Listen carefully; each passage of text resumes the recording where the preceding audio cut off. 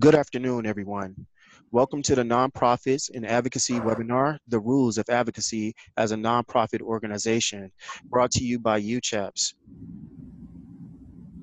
Today's webinar, we have special guest speakers, uh, Devin Barrington Ward, and also Drew Gibson.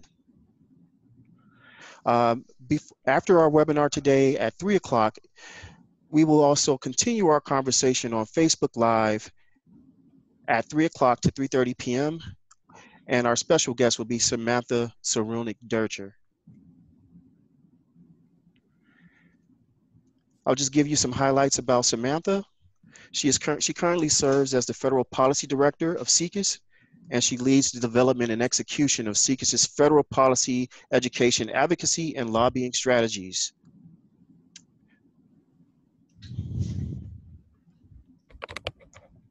So I'm going to quickly go over some goals of our webinar today. Following our webinar, we envision participants being able to learn the rules of the do's and don'ts of advocacy as a nonprofit organization, identify ways to be part of a movement without jeopardizing the organization's nonprofit status, and understand the difference between advocacy and lobbying, and learn how to avoid crossing the line. Now, I would like to introduce today's speakers. First is Drew Gibson. He is a policy associate with AIDS United, where he works with HIV service organizations and the people they serve to inform, educate, and affect positive change in Congress and at the federal government level.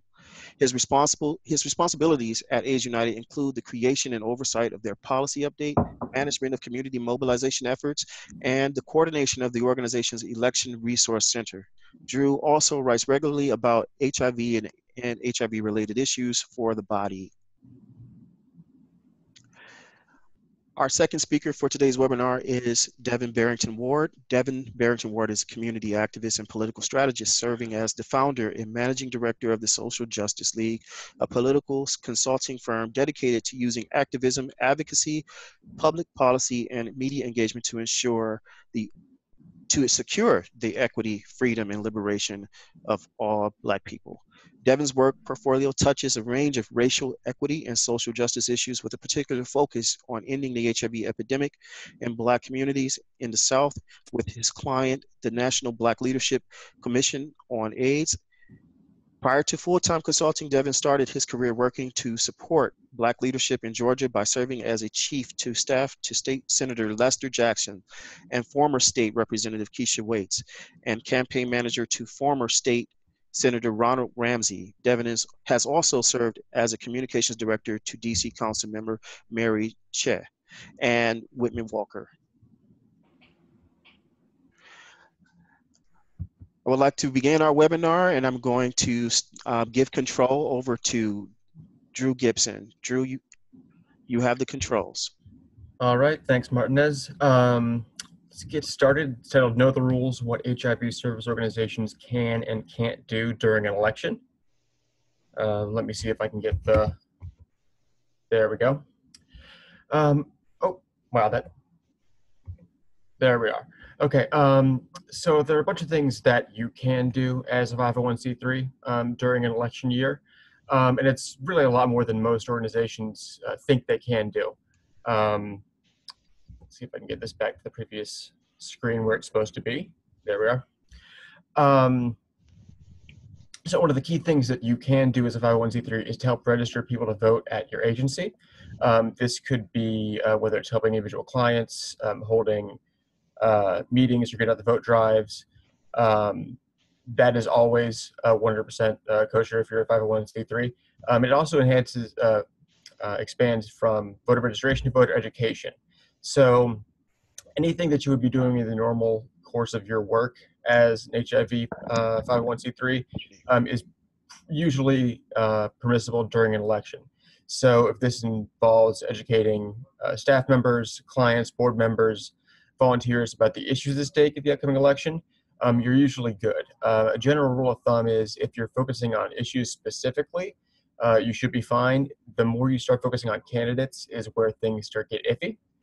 Um, as I mentioned earlier, you can organize nonpartisan get out the vote drives and voter registration drives on uh, AIDS United's uh, Election Resource Center, we have a bunch of different um, resources that can help guide you from um, Alliance for Justice on how to, you know, start a get out the vote drive um, and run one effectively.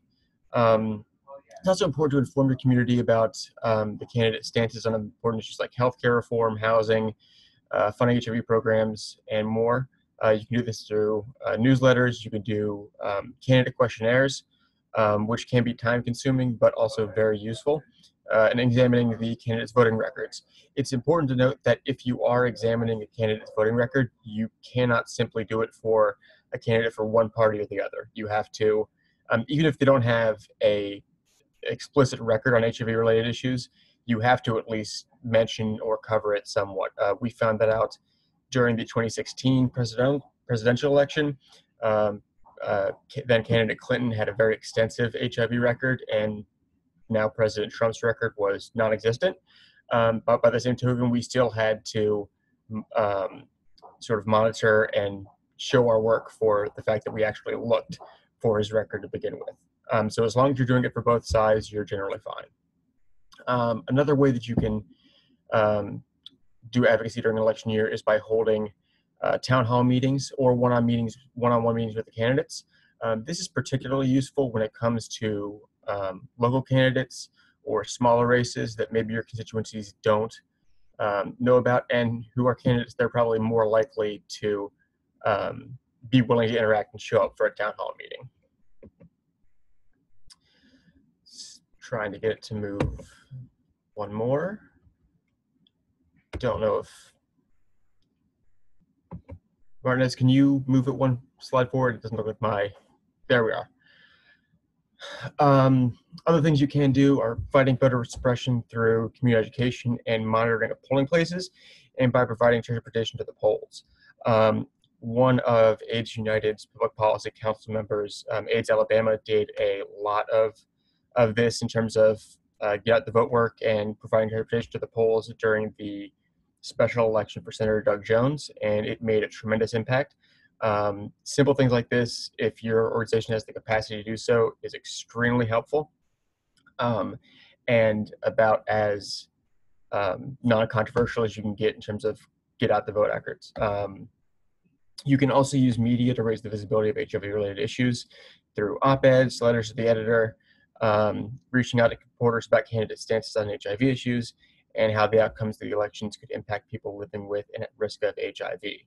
Um, it's important to note that if you do decide to go the media route, um, that you stay away from any sort of um, attacks on a candidate's past record, um, or especially their their personal lives or stances, um, and try to stick mainly to the issues at hand.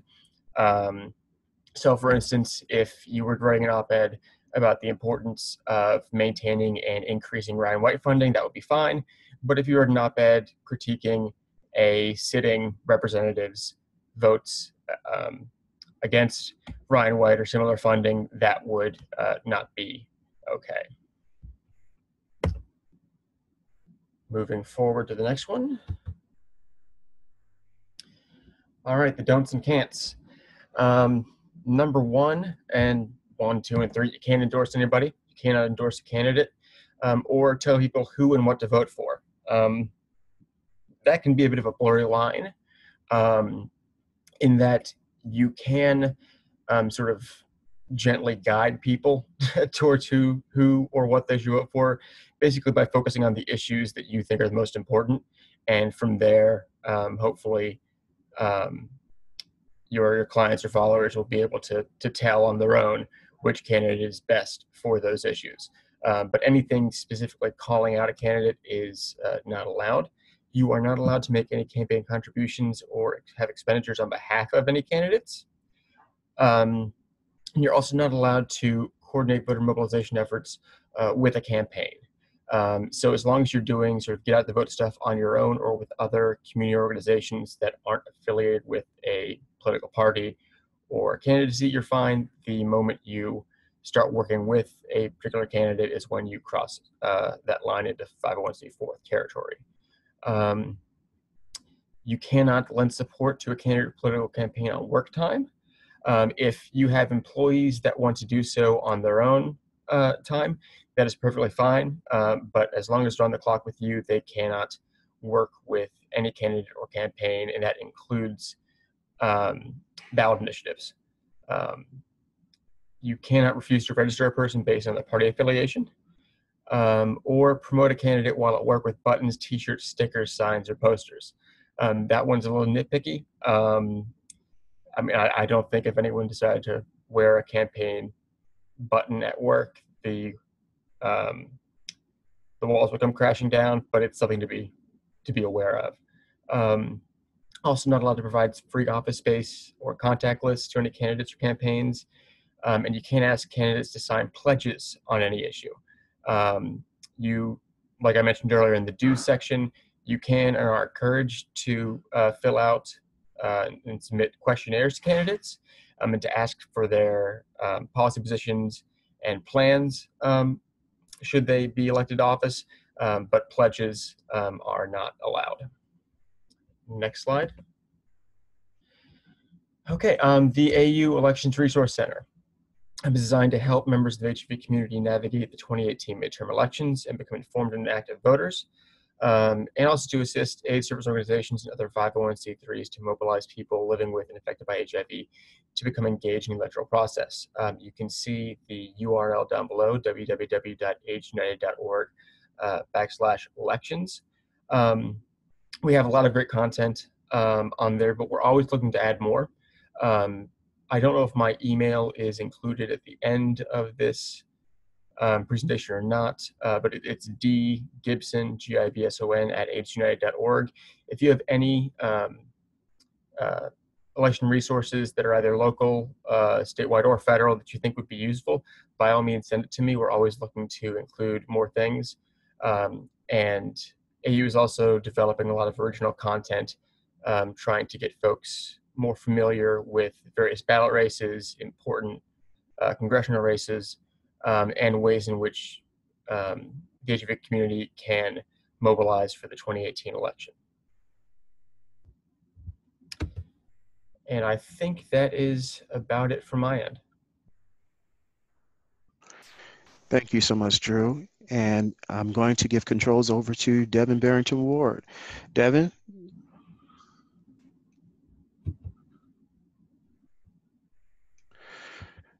Devin, you're live now.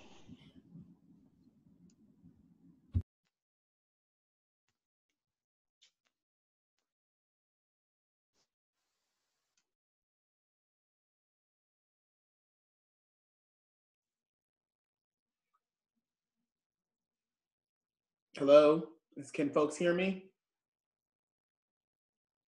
We can hear you now. Okay. Um, hello, everyone. Uh, my name is Devin Barrington Ward, um, and um, as Martinez mentioned via my bio, um, I on, let's see if we can. Is my camera working? No. Devin, we can see you. Okay, awesome. Um, and so I serve as um, a policy and advocacy consultant with the National Black Leadership Commission on AIDS, um, as well as some other organizations, including UCHAPS. Um, and much of my work is around um, increasing the capacity of organizations to engage in advocacy, um, both electoral advocacy, but also advocacy within legislative institutions and building legislative power.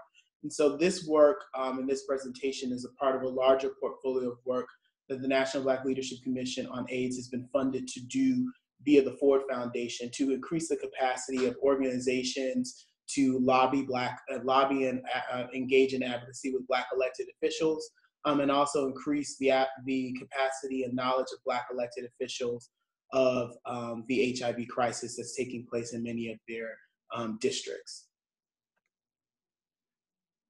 Okay. I'm gonna have to click on my screen because I'm using my iPad and my keyboard is not working. Um, and so, as many of you all know, for those who are doing frontline work or much of the work that your organization does is frontline work, um, or even you know via health departments, uh, that ending the epidemic is going to require more than condoms, PrEPs, and antiretrovirals. It is going to require building the political will and pushing um, progressive uh, health-based policy that is encompassive of HIV and other um, disparities that impact um, the communities that we serve.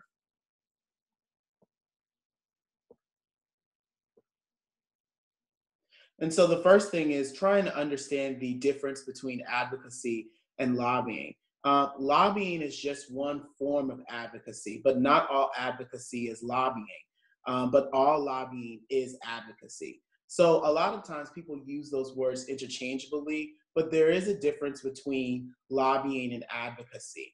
Um, most nonprofits, uh, when they advocate, they advocate on their own um, behalf, um, and they're seeking to um, change some aspect of society, whether that's to appeal to individuals' behaviors, um, for example, and that is a lot of the work that we do in the HIV space is advocacy to, you know, increase health promotion. So to put on condoms, to take PrEP, to take your medication if you're a person who's living with HIV. And so that's a lot of the behavioral advocacy. Whereas lobbying refers to advocacy that is the specific attempt to influence legislation. Um, and what many of things, this is where the lines oftentimes get crossed, is because a lot of folks are not familiar with what the difference between lobbying and advocacy is. And there is a misconception um, around whether or not nonprofits can actually engage in any lobbying um, or if their work specifically has to just be advocacy when it comes to speaking with elected officials.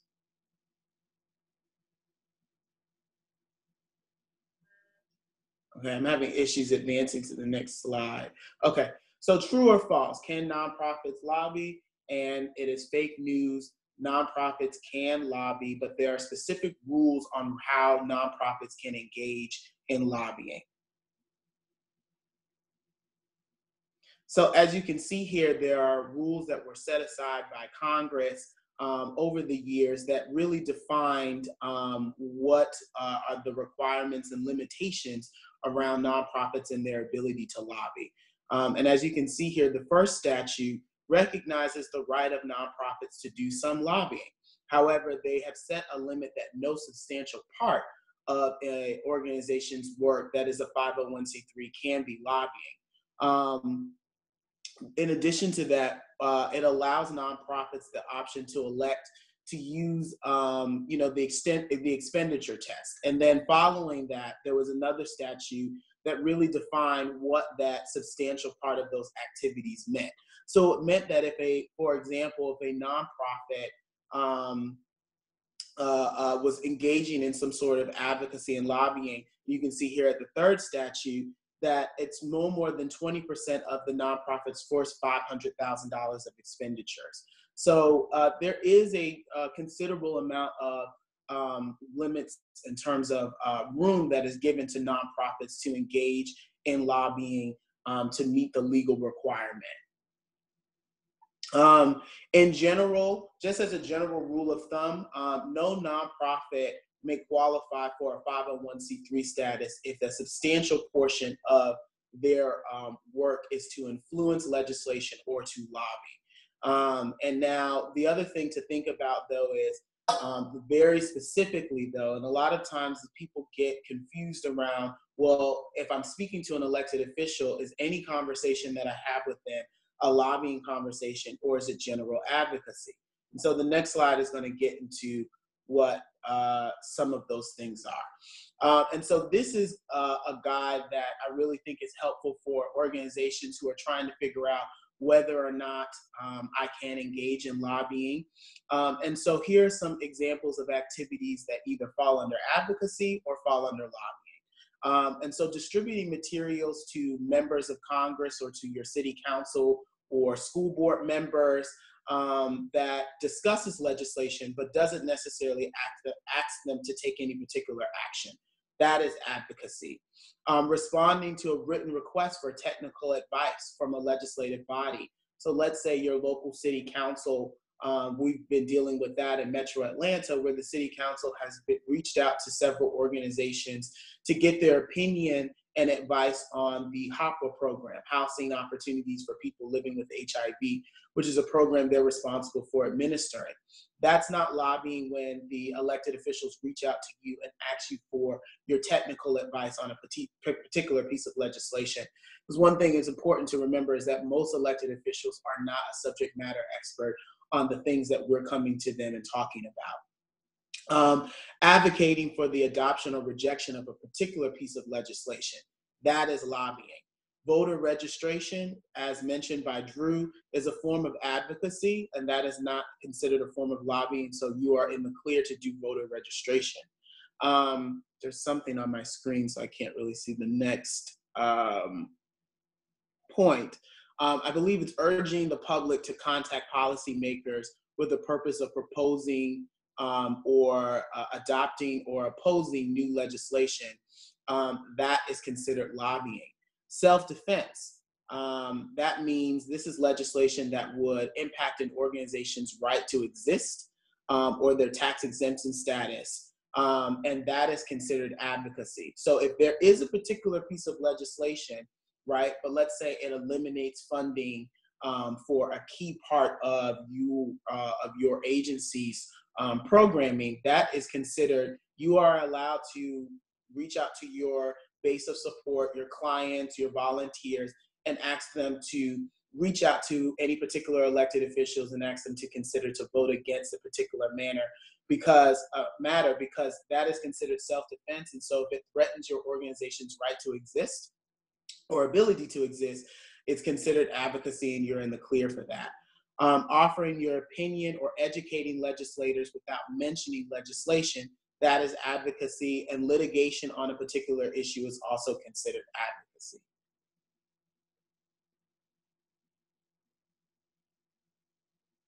And so one of the things that's really important, um, and we're not gonna uh, uh, do it obviously via the webinar, um, but a video that I encourage people to watch a lot is the uh, Schoolhouse Rocks, how a, a, piece of legislation becomes a law.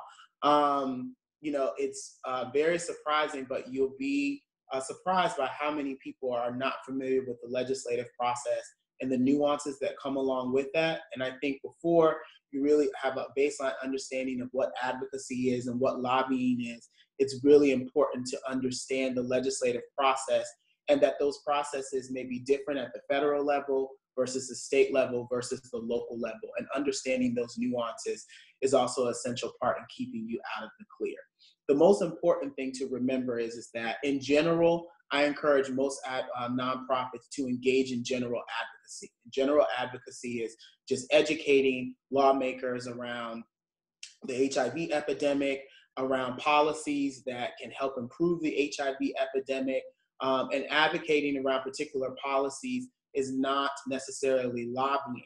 But at the point where you talk any mention any specific piece of legislation you are lobbying, which doesn't mean that you aren't allowed to engage in it at all. You just need to make sure that you're meeting the thresholds and the requirements and the limitations that are placed on nonprofits as far as lobbying is concerned. And I believe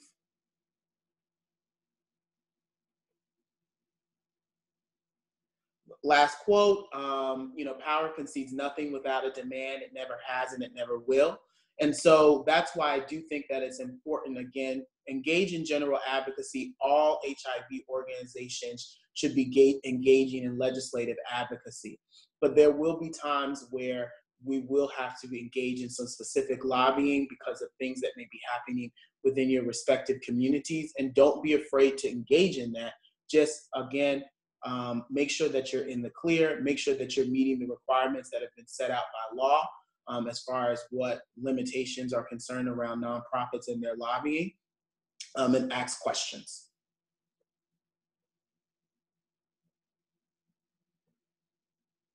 And there's my email. You, my uh, NBLACA email is there, as well as my personal email address.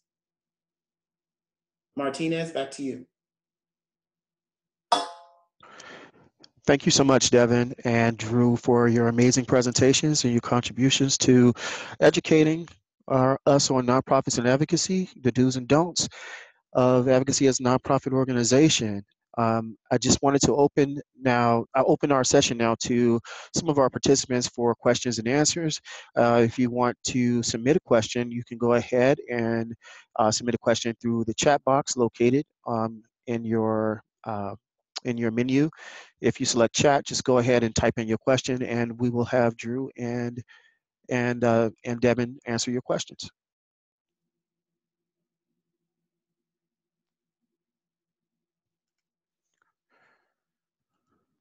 No questions, anyone? Well, I had a, a question uh, for both of you, uh, Drew and Devin. I uh, wanted to see what, what other additional information would you pass on to any type of uh, community-based organizations uh, who are planning, um, for instance, their uh, their voter registration? What what if they're doing voter registration, what are some things? I mean, we all know that that's advocacy, and they're allowed to do that. But while they're doing that, what what should they avoid doing? Um, Drew, would you like me to start? I'll assume that's yes. Um, as far as um, uh, I see a, a, message from Drew. He's asking to be unmuted. Um, as far as uh, voter registration, some things to avoid. Again, some of the things that Drew mentioned um, around uh, making sure that you aren't endorsing a candidate, right? Um, now, here's the thing remember that as a citizen, you still have your own voice, you own your voice, and you have the ability to endorse whoever you want as a citizen. However, I cannot, for example, on behalf of NBLACA, make an endorsement of a particular candidate um, uh, who is running for office. So that's one important thing to remember. I think the other important thing to remember around uh, things to avoid or things that you should be doing is um, I think oftentimes we are really good around registering people to vote, but we aren't really good around um, reminding people the importance of voting. Um, and that uh, you know there's a separate uh, uh, there's a separate from getting someone registered to vote versus having them actually come out to the polls. And so, um, you know, voter registration is like 50% of the work. The other 50% of the work is really encouraging them to get out to the polls. The last thing that I would say is, as Drew mentioned, the candidate questionnaires can be kind of labor intensive labor intensive, but for nonprofits, particularly community based organizations, the best form of advocacy um, and uh, voter engagement is done when you're working in coalition with other CBOs and ASOs in your particular cities. So that way the workload doesn't fall on one particular organization. And so if a group of organizations, for example, come together and put together a candidate questionnaire, you're now registering people to vote, but at the same time, when they're being registered, they're also receiving information around the elections that are coming up and how the particular key races in their cities and in their jurisdictions and communities, how the candidates um, in those key races um, feel about issues that are important to your organization and to people who are living with HIV.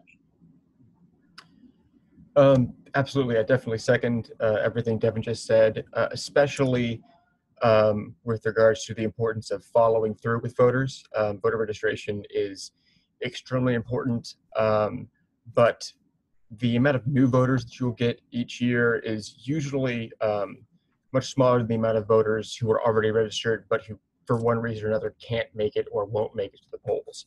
Um, so, if you have the bandwidth to do it, finding ways to engage with, if you're an ASO, uh, to engage with your clients and um, try and find ways to get them to the polls, see what their needs are, if it's transportation, if it's getting off work, um, whatever it is, if it's knowledge of where the polling places are, um, working to make sure that they have all the tools they need to get to the polls um, is really important work that I, I can't stress enough. Um, ASOs can and, and should uh, be doing in the weeks and months leading up to an election.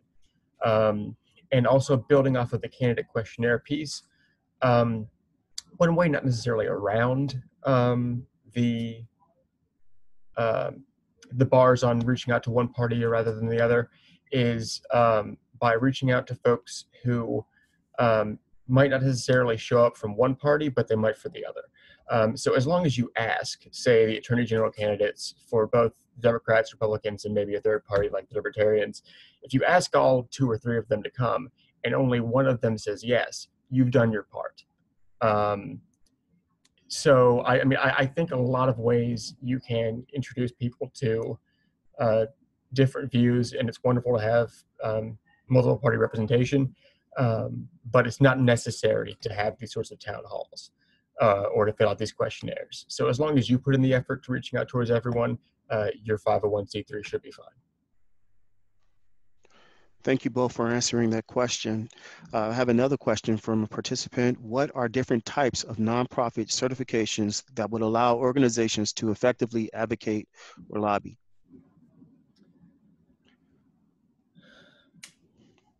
Um, this is a, this is not really my uh, area of expertise. Maybe Devin can speak to it more. Um, but it sounds like sort of what we're talking about is the difference between 501c3s and 501c4s um, and the capacity of your organization to uh, be an sort of a political entity or whether you're strictly a nonprofit. Um, Devin, do you have any? Looks like Devin's muted. Um, Martinez, so if we could get him unmuted.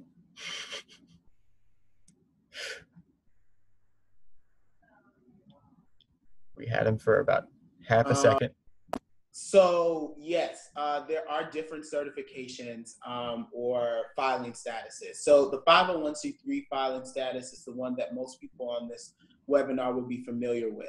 The difference between 501c3 and 501c4 is that donations to a 501c4 are not tax deductible. Um, and basically, um, you know, it's the opinion of um, the government that if you're receiving donations to lobby the government or to influence things politically, that those donations should not be, um, that the bulk of those donations should not be tax deductible. Again, there are some, now, not every nonprofit that wants to lobby or needs to lobby needs to be a 501c4. It again depends on the level of lobbying that you're doing. So let's say, for argument's sake, you are a nonprofit that has a half a million dollar budget, right? So the 20% of your half a million dollar budget cannot, uh, you, you're only allowed about 20% of your half, half a million dollar budget to engage in heavy lobbying, which is around specific legislation, right? And so a couple of things. Not all lobbying requires expenditures, right? So I'm a registered lobbyist in Georgia. Um, the clients that I lobby for are nonprofits, um, and I lobby for them during the legislative session. So between my cost that's associated with being their lobbyist, but the fact that I don't really take any people out for dinners, I don't really uh, take any elected officials out for dinners, I don't really spend any money in terms of engaging in that level of lobbying. And so when I do my lobbyist um, expenditure forms on behalf of the organizations that I lobby for, they're a- easily able to show that I have not hit whatever limitation uh, in terms of the dollar amount that's given based on their budget as far as what they're allowed to engage in lobbying for. So, one, ask yourself are you going to exceed whatever that 20% threshold is in terms of how much you're allowed to lobby? That's one question you need to ask yourself. The other thing that you should be asking yourself is around capacity. Um, an organization that I uh, am a member of, Black Youth Project 100, which is a 501c3, but we've recently uh, started a sister 501c4 um, that's under the same name, Black Youth Project 100, but that allows us to engage in more heavy lobbying and also as an organization, we are able to endorse. The last structure that I would make mention of is there's nothing stopping a, a, a, group of individuals who work in the HIV space, but outside of their work want to work in coalition together to influence the political process. And this is called a political action committee, a PAC. There are two forms of PACs. There are regular political action committees and there are super PACs. Um, the biggest distinction between a PAC and a super PAC is that super PACs are not allowed to coordinate resources with the candidate. They can just speak up on the candidate on their behalf, but they can no be there can be no official communication between a super PAC and a candidate that is running for office that the super PAC may be supporting. Whereas a political action committee can coordinate resources and can be in regular contact with a candidate. Again, no nonprofit is going to be able to start their own political action committee. That's not allowed. As a nonprofit, you are allowed to start a 501c4. However, if you would like to take your take this work outside of your organization and engage in some more heavy hand-to-hand political combat, I would encourage people to find other like-minded individuals who want to do this outside of their um, nine to five hours. I know many of you all are probably working more than nine to five, but outside of your work hours, to work together in coalition as a political action committee, and that allows you to endorse. It also allows you to lobby and engage in some more heavy political activities, um, if that is what you desire to do.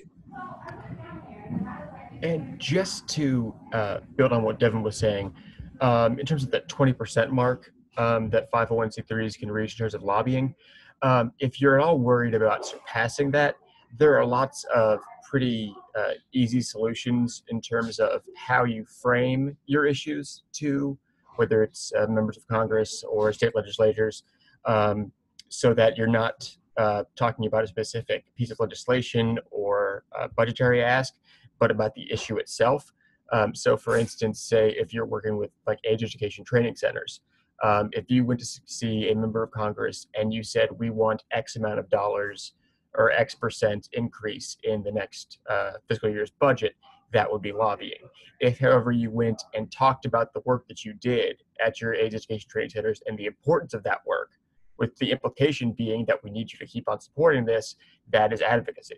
So um, there's there are easy ways that you can get around that 20% mark. And for the most part, if you're a 501c3 who doesn't have um, dedicated staff to lobbying, you're probably right. not going to be close to reaching that. There, there's really very little reason to worry unless lobbying is a, a very large chunk of what you do. Um, at AIDS United, we are a 501c3. Uh, we spend a lot of time on the Hill, um, and we are never close to hitting that 20% mark. So, um, something you should be Same aware of but not worry about. Same thing with all of the clients that I've worked for, um, that I've done lobbying for, where they've hired me to be their lobbyist or their political um, consultant or legislative strategist. None of them ever come close to the 20% threshold because most of the time, um, I'm, you know, I would call it code switching for, uh, for a lack of a better word, um, is framing whatever their particular issue is and how do I make it general unless it requires that I get very specific. So, for example, if there is a piece of legislation that is going to completely eliminate you know what um, you know a key source of funding that is you know really important for this organization's ability to provide care for its clients then that might be an opportunity where you want to get very specific and talk about a specific piece of legislation and lobby. But again, um, as Drew mentioned, um, if you don't have dedicated policy staff, dedicated advocacy staff, the likelihood of you all hitting that threshold or getting anywhere close to that threshold is, is very small. Um, it looks like um, Martinez was hoping that I'd address um, sort of how HIV/AIDS organizations can uh, more successfully uh, or improve their their HIV advocacy policies and how they approach um, that work. Uh, the the biggest piece of advice I would give um, would be to make things personal and make things local. Mm-hmm. Um, for the most part, especially on Capitol Hill, if you come to an office and you don't have an established relationship with an office um, and you're not their constituent, they have already tuned out by the time you get to the door. Um, they want to hear about the voters that they're responsible to and who can keep them in or out of office. Um, and if you're not one of them, uh, you have to do a lot of work to actually get their ear. So focusing on folks that um, directly represent you and your clients is very important, and also making sure to get like a personal connection with the legislator. Uh, invite them for a tour of your facility, uh, invite them to events that you're hosting, um, anything you can do to build a rapport with them and more importantly with their staffers who you'll be dealing with 99% of the time. Um, david do you have something you want to say? Yes um, one of the most uh, important things to remember is actually know who represents you Um, lines, uh, congressional maps, um, legislative maps are, are redrawn every 10 years. And so you may be thinking that because you've seen this person's yard sign, that they um, are the person who represents you, but they may not. And so some specific resources for that is Project Vote Smart. Um, votesmart.org. You can put in your address and your zip code, and it will bring up all of the federal and um, state elected officials who represent you. Um, and if you want to specifically look for your state um, uh, senator or state representative or delegate or assembly person, openstate.org is another good resource, um, and they'll bring up specifically who represents you at the state level in your legislature. Um, I cannot tell you how many times I do these types of trainings, um, and usually my trainings are about, um, sometimes they can be a half a day, they can be a whole weekend, um, because this uh, work is very in depth and very layered. Um, how we hit a major roadblock when people can't tell me who it is that represents them at the respective levels of government. Um, all levels of, of government have a role to play in ending the epidemic. And so before I encourage you, before you come to Washington, D.C., although AIDS Watch is really important, I would challenge you if you have not invited a local elected official to tour your facility, if you have not gone and had a meeting with a local elected official, either at the state or county or city level, about the work that you all are doing, I would challenge you to really do that before you start looking at the federal advocacy work because there are so many issues as pertains to HIV and other sexual health disparities that can be changed at the state and local level that are low hanging fruit that oftentimes those elected officials never see HIV activists in their offices. Thank you both for answering that really um, question, that, that question in, in depth. I have another question from a participant. Uh, it's taking the 501H election, which allows nonprofits to elect to be measured by the objective expenditure test. Do you recommend this or not for 501c3s who want to be more explicit in their lobbying? What are the pros and cons? Um, so I think that um, a couple of things. Um, I, if you are going to engage in that type of lobbying and you don't want to get a 501c4, then yes, I would make. I would just to make sure that you're in the clear, follow the expenditure test. Um, but I would encourage you that if, um, and this is, and it is necessary. We do need more. Uh, uh, organizations like AIDS United represented at the state and local level because the work that AIDS United does is really amazing federally. Um, and they do support some state and local efforts, but by and large, there aren't really a lot of state versions of an AIDS United or regional versions of an AIDS United or some of the other um, agents we have representing us nationally that have a focus on policy and advocacy. And so, if you are going to engage in a, in a, significant amount of lobbying, I would, um, in the short term, I would adhere to the expenditure check test, but in the long term, you may want to be looking at some more sustainable structures for engaging in that type of lobbying and advocacy. Some folks will talk organizations back away from from engaging in heavy lobbying and advocacy, but I think particularly for organizations that are in the South, where you have um, you know policies like you know the lack of Medicaid expansion, the lack of comprehensive sexual uh, sexual health education in public schools, the lack of um, uh, comprehensive civil rights legislation that includes LGBTQ people, um, HIV criminalization, and a whole litany of other policy challenges and legislative and, and, and legislative challenges that do not create an environment where you can really end the epidemic um, I understand why some organizations and encourage some organizations to look at carving out um, some very specific um, policy struct policy and lobbying structures to advance the work of their organization um, and uh, the movement. Yeah, I would say at least um, in in terms of the 501h election, it's basically an insurance policy. Um, it's it's a way for folks to um, sort of get a little peace of mind and be able to see exactly how much they're allowed to use for lobbying. Um, and again, that that 20% mark. Um, if you're not, if you don't think you're coming close to it, I wouldn't worry about the 501h election. Uh, it's just a little more work that um, that you wouldn't need to do. But if you are worried about um, exceeding that threshold um, and you haven't started a 501c4 and don't have plans to, I think the 501h is very useful. Thank you both for that very great information that you just shared for that question. Um, does anyone else have any any more questions? Um, I have one. or I have two more. I have another question that wants to address uh, more information about uh, 501H.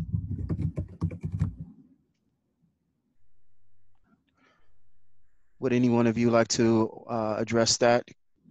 Uh, what was the question? Uh, tell us more about 501H. Uh, I, I don't think it was uh, touched on uh, a lot in the presentation, but what is what is it? What is a 501H?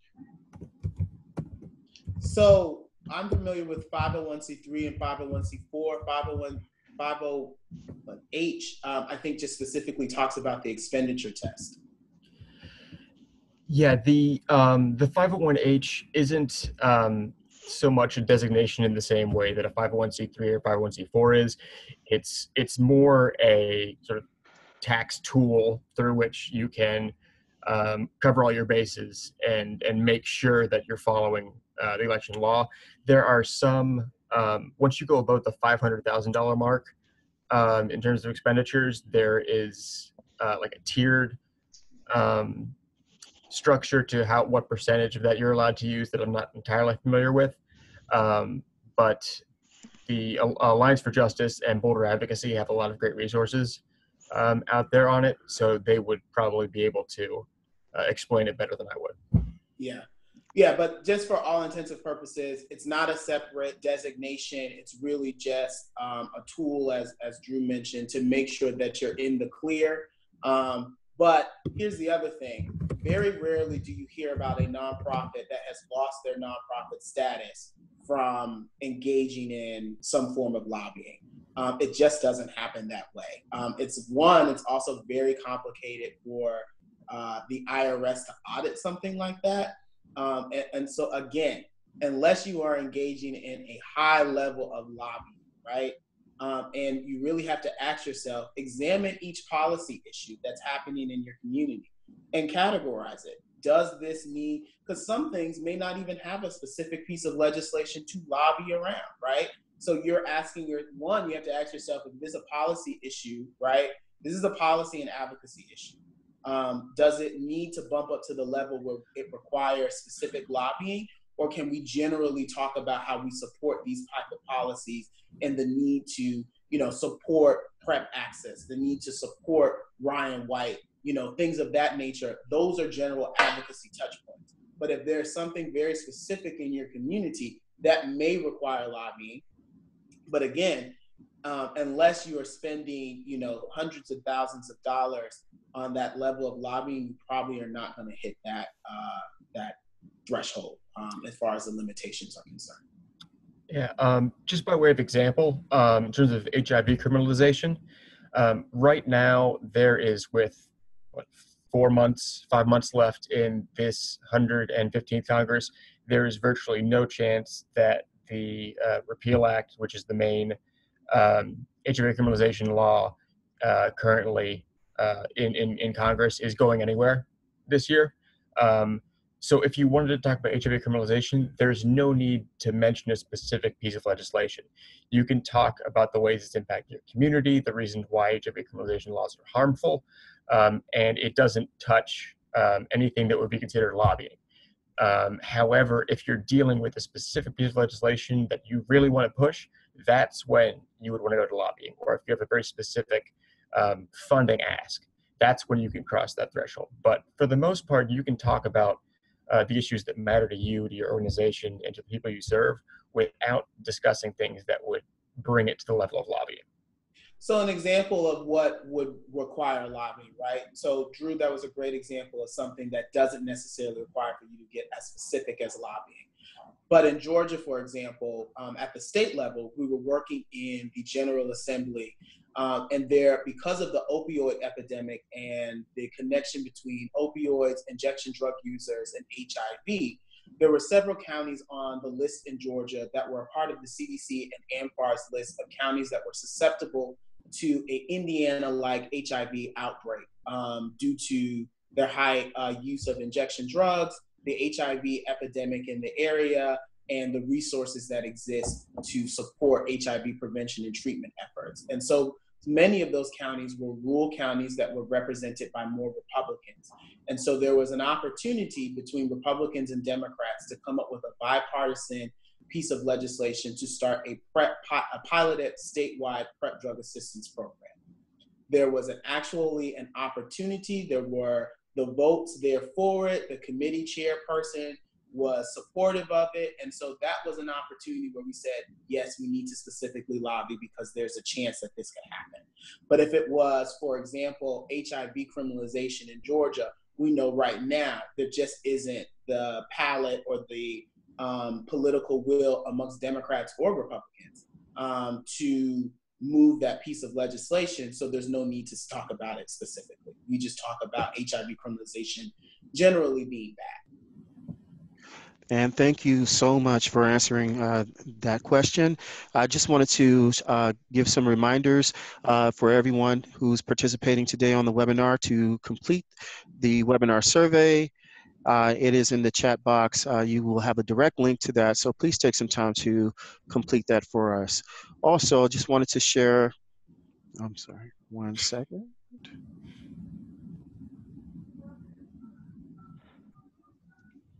Share some information about today's uh, post-webinar conversation uh, that will happen at 3 o'clock today on Facebook Live. Um, Samantha Cyrilnik Durcher, who currently serves as the SIECUS Federal Policy Director, will be with us to answer even more questions and address more issues related to advocacy and nonprofit organizations. Uh, she um, definitely she serves as the federal policymaker of uh, she, she serves as in the development and execution of SIECUS's federal policy education, advocacy, and lobbying strategies. So be sure to join us at 3 o'clock on Facebook Live. Uh, you can go live with us by following UCHAPS on facebook.com. Also, if there are any webinars that you have missed, uh, UCHAPS webinars you've missed, we have a library of archived webinars that you can access on uchaps.org by going to the UCHAPS Resource Center.